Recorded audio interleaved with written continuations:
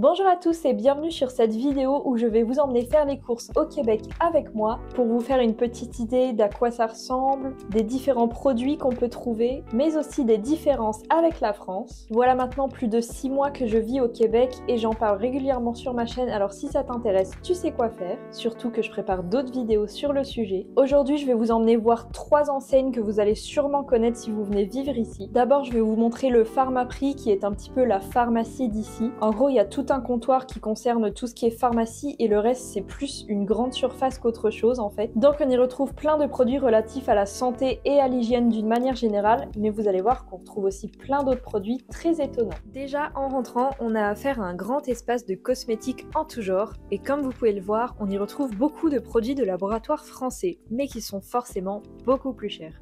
Sachant, je le rappelle, que tous les prix affichés ici sont hors taxes donc pensez bien qu'il faudra rajouter environ 15% du prix au moment du paiement. Alors jusque-là, rien de très étonnant, vous allez me dire, puisqu'il y a des produits qu'on retrouve en France en pharmacie ou en parapharmacie, mais restez bien jusqu'à la fin, vous allez voir.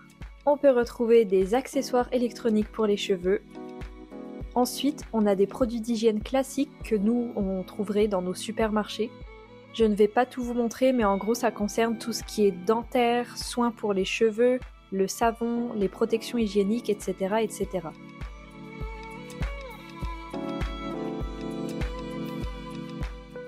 Ici, en plein milieu, entre les antidouleurs et les protections hygiéniques, on a des humidificateurs d'air. Ici, on a le comptoir pour les ordonnances et on retrouve pas mal de médicaments dans les rayons. D'ailleurs, pour information, l'équivalent des paracétamol ici, c'est Tylenol. Je vous dis ça parce que c'est un petit peu indispensable comme médicament. Alors ça peut paraître cher comme ça, on est autour de 20 dollars, mais en général il y a une centaine de gélules dans une boîte, donc franchement ça va. Ici on a encore des médicaments, et puis tout à coup transition, on a des cartes de vœux.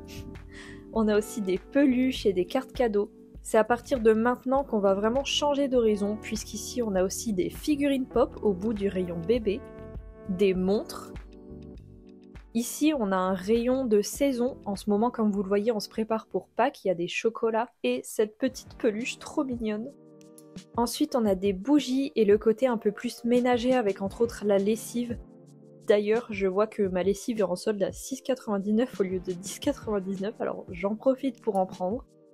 D'ailleurs, ne cherchez pas ici les lingettes anti-décoloration pour le linge, ça n'existe nulle part. Si vraiment vous en voulez parce que vous êtes habitué, vous êtes obligé de passer pour Amazon, mais c'est un petit peu cher, sinon triez bien vos couleurs. Ici, ce sont des lingettes adoucissantes pour le linge qu'on peut trouver. Après, on a un large choix de nourriture pour les animaux et aussi des litières pour chats, puis des accessoires pour le ménage, des sacs poubelles, de congélation, etc on arrive à l'autre bout du magasin avec des choses en tout genre, comme par exemple des boissons et des snacks. Là, on a même des DVD.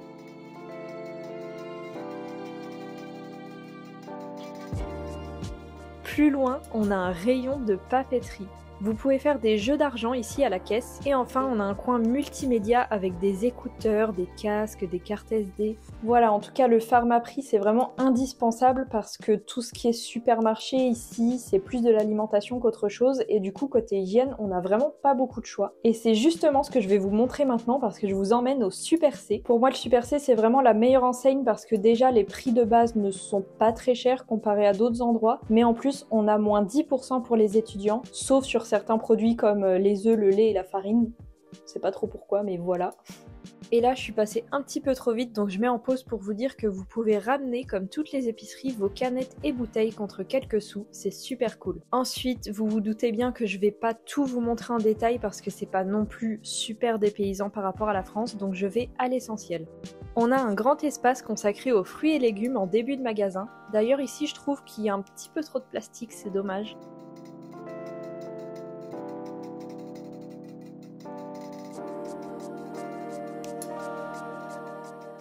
De temps en temps, il y a des petits paniers comme ça anti-gaspi avant que ça périme, c'est moins cher et c'est vraiment cool. Normalement, tout est pesé en caisse, mais si vous voulez savoir le prix avant d'y aller, vous avez des machines comme celle-ci, comme en France. Petite curiosité locale pour le coup, spécialement du Québec, c'est qu'ils vendent des pichets à lait dans le rayon lait. Alors pourquoi? Pour la simple et bonne raison qu'il y a du lait en sachet Comme ça, les familles qui en consomment beaucoup achètent directement le gros format en sachet plastique. À savoir ici que le lait est au rayon frais puisqu'il ne se conserve pas longtemps. Par exemple, ici j'ai acheté une brique le 29 mars qui est bonne que jusqu'au 10 avril. Ici, je m'attarde un petit peu sur le rayon fromage parce qu'on y trouve pas mal de fromages français. Après, nous, on n'en achète pas parce que ça revient vraiment cher, sachant encore une fois que les prix sont hors taxe.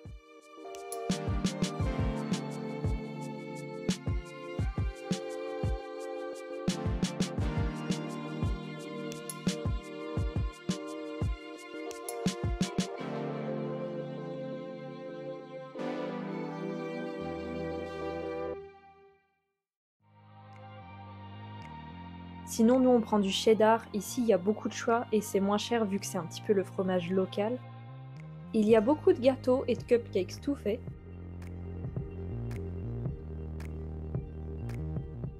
Pour ce qui est des jus de fruits les moins chers en général, c'est des gros formats comme ça de plus de 2,6 litres. Sinon, en briques, ce sont plus généralement des smoothies. Et en général, il y a beaucoup de produits de chez Starbucks, c'est très apprécié ici. Vous le savez peut-être, en Amérique du Nord, on aime bien les grands formats. Ici, on a 2,27 kg de lasagne. Là, vous avez aussi des saucisses à hot dog panées sur un bâtonnet. J'ai pas encore goûté, mais peut-être un jour. Et ici aussi. Des petits gâteaux à l'érable. Là, j'ai trouvé des petits biscuits au miel Pokémon, c'est trop chou. Ici, on a le rayon chips avec les incontournables chips au ketchup, spécialité locale. Ici, le popcorn que vous trouverez, c'est surtout du popcorn au beurre. Sinon, il y a aussi du salé, mais au cinéma, il n'existe pas la version popcorn au sucre. On a un large choix de pain de mie et il y a aussi du pain, pas trop cher mais c'est pas fou niveau qualité. Si jamais vous venez à Sherbrooke, je vous conseille plutôt de venir au marché central de la gare et là c'est vraiment du bon pain. Je vous y emmène en fin de vidéo. On a le fameux sirop d'érable et ces espèces de goûts à rajouter dans votre lait. Je trouve ça un petit peu bizarre, enfin inhabituel. Dans les sauces, on a du mayo chup. C'est du mélange entre de la mayonnaise et du ketchup. Franchement, fallait y penser. Les mac and cheese, c'est très connu ici. Donc en gros, c'est des pâtes avec du cheddar tout préparé. Est-ce que vous voulez 8 kg de riz? Franchement, sans voiture, faut pouvoir le porter. Pareil pour la farine, on a des formats de 10 kg. Vous voyez ici, on a les produits d'hygiène, il y a le minimum nécessaire, mais vous voyez, on n'a pas beaucoup de choix puisque tout est là. Ça s'arrête ici, après c'est tout ce qui est ménager. Le seul truc un peu embêtant ici, c'est que quand on veut comparer les prix, c'est pas toujours évident. Ici par exemple dans les détergents, donc les lessives, on a le prix à la brassée, donc une dose en gros.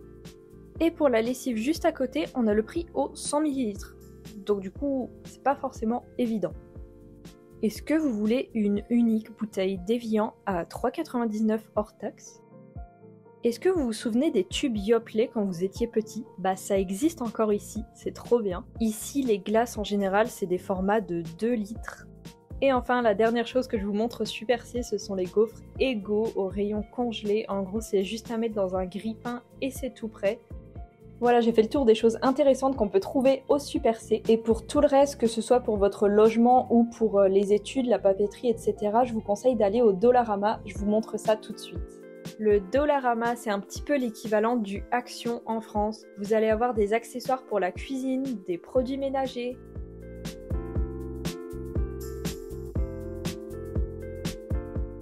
du bricolage, de la décoration, de la vaisselle, bref, un petit peu de tout pour votre logement et vraiment à tout petit prix. Il y a pas mal de choses niveau nourriture aussi, en gros toutes les choses qui ne sont pas au rayon frais. Encore une fois, je vais pas tout vous montrer, uniquement les choses qui sortent un petit peu du lot, comme par exemple de la sauce sriracha qui est presque introuvable en France. Encore des mac and cheese, des petits gâteaux apéro au cheddar, mais aussi du jello. Si vous savez pas ce que c'est, en gros, c'est pour faire de la gelée. C'est pas mal consommé ici. J'ai goûté les croissants comme ça, je vous le recommande pas forcément. Et en dessous, on a du colorant à café. Trop bizarre, je trouve, de vouloir colorer son café. Non. Si jamais vous voulez avoir un souvenir à l'effigie du Québec ou du Canada, il y a de quoi faire ici. Côté hygiène, on a déjà plus de choix qu'au Super C et il y a un petit peu de tout. Il y a aussi pas mal de vêtements, des articles de beauté et aussi tout ce qu'il faut pour les cheveux.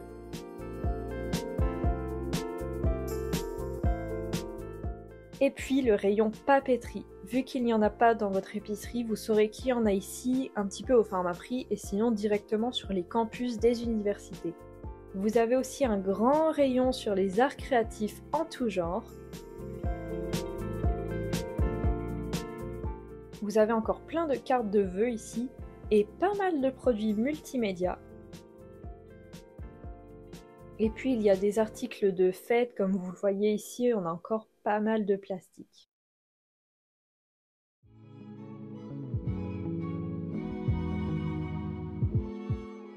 Et enfin, avant la caisse, vous avez pas mal de boissons et de snacks.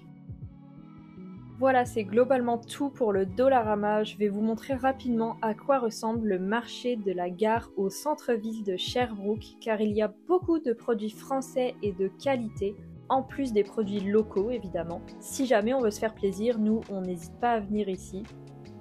D'abord, on a la fromagerie. Il y a plein de fromages français qui viennent vraiment de France et de leur région. Par exemple, le Münster, il est bien fabriqué à Münster en Alsace.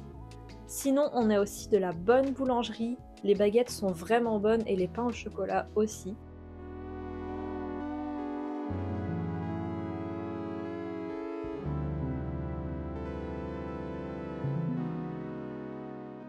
Plus loin, on retrouve la charcuterie, même discours que précédemment, allez-y les yeux fermés, les produits sont vraiment bons et franchement, c'est pas si cher que ce qu'on peut imaginer.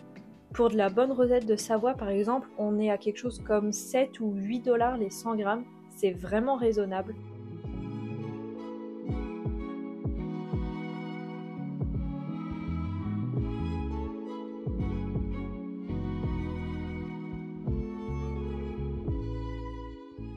C'est aussi en face de ce stand qu'on retrouve quelques produits français plus industriels comme les princes ou des petits écoliers. De même pour le sirop d'érable qui ici est local et vraiment pas beaucoup plus cher qu'au Super C. Et enfin, on a la boucherie avec des produits divers et variés, beaucoup de choix de produits locaux, mais aussi, vous l'aurez compris, de produits français comme là on a du cassoulet et les bonnes sauces de chez Bénédicte. Avant de conclure cette vidéo, j'aimerais remercier les commerçants du marché de la gare qui ont vraiment été adorables quand je leur ai demandé si je pouvais filmer leurs produits, en plus du fait qu'ils servent des produits de qualité toujours avec le sourire. Si jamais en regardant cette vidéo vous vouliez en savoir plus sur globalement le coût des courses au Québec comparé à la France, je vous conseille plutôt d'aller voir la vidéo de Vivre au Québec qui en parle très bien, je vous la mets juste ici. Après si vous voulez mon avis personnel, on en a quand même pour un peu plus cher qu'en France, même avec la réduction étudiante, même en prenant toujours les produits les moins chers et en faisant attention, globalement le panier est un peu plus cher pour nous qu'en France. Mais c'est peut-être aussi qu'on fait tout à pied et du coup on est obligé de rester globalement sur un seul magasin. Si on pouvait faire plusieurs enseignes, peut-être qu'on trouverait moins cher ailleurs sur certains produits. J'espère que cette vidéo vous a plu. Si c'est le cas, laissez un pouce bleu et si vous êtes français ou de toute autre nationalité, dites-moi quel est le produit qui vous a le plus étonné dans cette vidéo. Moi, je pense que c'était vraiment le lait en sachet plastique. Ça m'a vraiment étonné. Maintenant, je comprends mieux, mais bon, j'aurais quand même en achetant ça de le craquer et d'en mettre partout, je sais pas. Je vous remercie d'avoir regardé cette vidéo. N'hésitez pas à vous abonner pour soutenir mon travail et moi je vous dis à la prochaine pour une nouvelle vidéo. Salut